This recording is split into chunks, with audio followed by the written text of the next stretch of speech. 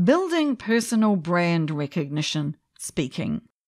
You are in the coaching, speaking, or training fields, working on your own behalf.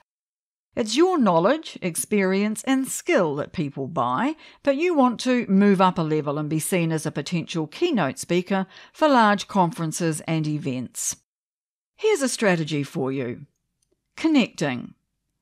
Your network size and makeup will be critical. It needs to be large with thousands of connections. If you specialise in a particular industry, real estate for instance, target people working in that industry no matter what their role. Find a reason for them to connect with you and send personalised messages. If you have the resources, send the maximum of 75 invites per day. Withdraw any unanswered invites after four weeks, as that person clearly does not want to connect or has not spotted your invitation, which means they are not active on the platform. Posting. Write and post thoughtful content. Articles are an excellent forum for this because they build into a library. Posts are less permanent unless added to the featured section of your profile. Use posts to point people in the direction of your articles to gain greater reach. If you're aiming at public speaking, post videos of yourself presenting at events or share content from them.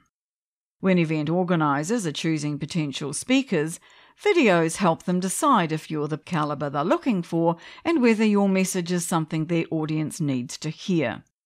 Add videos to your personal profile too. Engaging. Generally, well known people generate plenty of engagement on their content. You will need to do the same. For this, you may need some help from your supporter network or tribe. Direct messaging.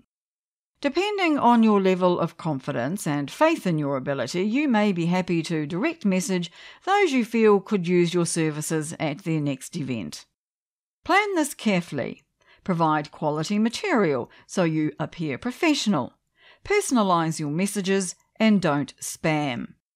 Some people are perfectly happy promoting themselves heavily without developing a relationship first and being sure the person wants to hear from them. If that's you, go for it. I'm more a believer in giving first to establish trust with a person before reaching out with how I could help them. Each to their own.